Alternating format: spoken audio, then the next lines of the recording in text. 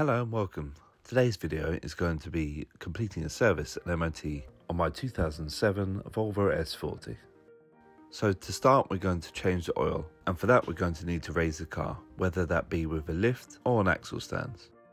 Also make sure you've run the car so the engine is warm and the oil flows out easily.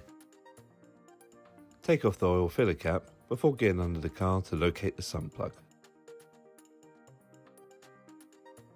This is undone with a 13mm socket. Unwind the final part of the screw with your hand so you've got better control and position a drain pan underneath to catch the oil. Allow the oil to drain out fully. I'd also suggest getting a completely new sump plug because they don't use a washer, instead they're a complete unit for this particular engine. Whilst the oil is draining, we can move on to the oil filter. These aren't usually done up that tight, but mine was so I used a large set of grips to help me undo the old filter. Once you've removed it, clean up as much of the used engine oil that you can from the surface where the new filter will go on. Then you'll need to coat the seal of the new filter with fresh engine oil before refitting it. The torque setting for this is 12 newton meters. If you don't have a filter wrench, some people do just tighten them up so they're hand tight. Now you can install the new sump plug and tighten it to 27 newton meters. Whilst I'm here, I'm just going to clean up the rest of the sump and the area around the engine with some brake cleaner, just because I know I have a leak and it'll be easy to find out where the oil is coming from with the engine clean. Now bring the car back down to ground and fill up with fresh engine oil. On this 1.6 engine, I put in about 4 litres before checking and topping up a little more. When reading the dipstick, make sure that the oil is between the two indentations. That completes the oil and oil filter change. Now let's move on to the air filter. Start by removing all the securing bolts on the air filter housing. These are 7mm and you may need an extension to reach some of the bolts. Once you take the cover off you'll see the filter. This one served its purpose and it was actually really quite dusty. The new one goes in and sits into some moon-shaped grooves on the lower part of the filter housing. Then just refit the top cover and the bolts. This filter change is quite simple and that completes everything we need to do underneath the bonnet. The next filter change, however, is a lot more difficult. We're replacing the cabin filter, which is in the passenger side footwell. Now as I'm going through this, you'll notice the camera angles aren't great. It's quite a tight space to work in, and to film it as well, sometimes you just need both hands. In fact, this job does require some contortionist skills to get into the footwell, very nimble hands to do the job, and also the patience of a saint. So to start, we undo the tabs securing the fuse board underneath the glove box. Pull it down as much as you can. You'll see the filter housing is just behind this panel. Feed your hand down the side, take out the securing bolt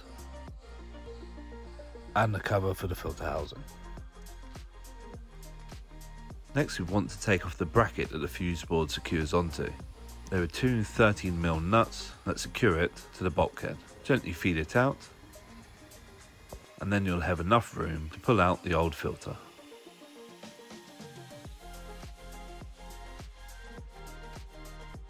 You'll see side by side that this one probably hasn't been changed for quite a while and you can see all the built up grime in the fins of the filter.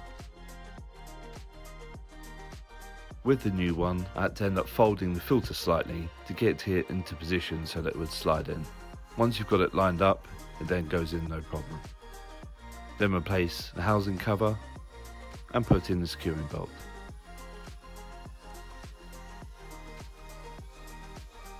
Next we need to reinstall the bracket and I found it easiest by feeding it in from the left side and round into position. Reinstall the two nuts that are securing it in, followed by the fuse board. This bit here shows you how the fuse board connects onto the brackets itself. Once it's sitting properly, resecure the fuse board back up underneath the glove box. Then tuck back in the carpet where it's been pulled down. And I have to say, I'm quite pleased that job is over. With the service done, we can now reset the service light. So pop your keys in the ignition, press and hold the trip button, turn the keys to the number two position, and keep holding that button until you see the flashing eye symbol in the middle of the display. Then let go of the button and it will reset the service interval. Turn the car off and back on just to check that the message is gone now. Job done. With the service now done, it's time to see if the car will pass its MOT.